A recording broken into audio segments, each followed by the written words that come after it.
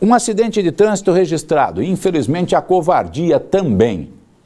O motorista simplesmente vazou, vazou do local do acidente, não prestando socorro à vítima. A polícia militar teve que ser acionada para encontrar o um motorista de um Fiat Palio que atingiu um motociclista aqui na rua Rebouças. O Aquino, a situação do rapaz é tranquila, mas cometeu-se um crime aqui nesse acidente também, né? Isso, ele está com uma fratura aqui no, no dedo, o terceiro dedo da mão esquerda, uma fratura aberta, né? Uma fratura exposta, porém consciente, orientado, é, relatou para a gente o que aconteceu ali. Ele foi colhido por esse automóvel que o condutor do veículo acabou se evadindo.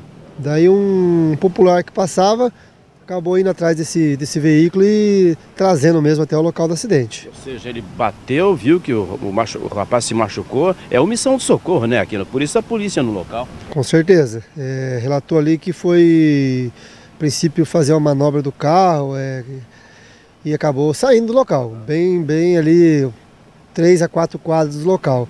Aí um popular que passava se indignou com a situação, né, vendo o condutor da motocicleta ali deitado no chão, acabou indo buscar esse, esse condutor do veículo que está aqui agora, já aqui com a polícia no local. Agora o rapaz que foi atendido, ele estava consciente, orientado, que vocês chegaram, estava bem, quer dizer, bem não, porque ele tinha uma, uma fratura, né?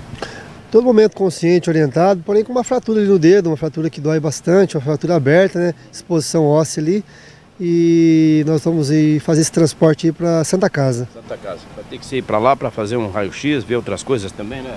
Com certeza, uma lesão ali aberta de, de exposição de, de, de, tendão ali, exposição de, de musculatura, muito provavelmente cirúrgico. Aqui, quantas e quantas, né? E quantos e quantos socorros, né, que já fizeram? Tem que parar para prestar socorro, dar um atendimento, chamar vocês, né? Com certeza, fazer o acionamento ali. É, ele pode ser indiciado aí por uma omissão de socorro, né? E vai ter que responder.